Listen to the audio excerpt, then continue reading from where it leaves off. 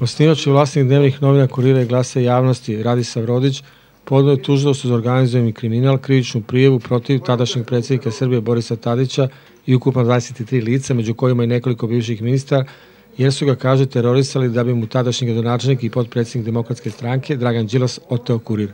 Oni su sve to radili da bi Đilas kupio po zadatku Borisa Tadića i tog njihovog e, štaba, nazovite ga kako hoćete, oteo kurir. Jer kurir je bio problem zato što je on bio stup slobodnog novinarstva.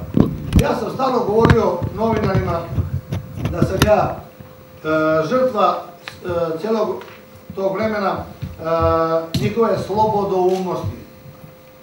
Ja nikada nisam došao u kurir da kažem, e, ovo ne možete da pišete. Ja nikada nisam rekao od njima, ovo vam je tema zabranjena.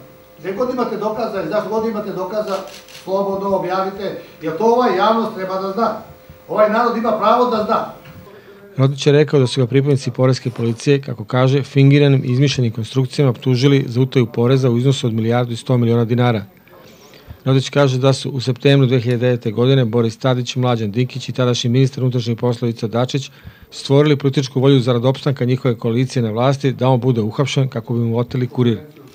Rodić je Viši sud sredinom 2011. godine proglasio krivim za zloupotrebu službenog položaja i na osnovu sporozuma o priznanju krivice osudio na dve godine zatvora kao i zabranu bavljanja dužnostima vezanih za raspolaganje, korišćenje i upravljanje tuđe imovinom na period od šest godina.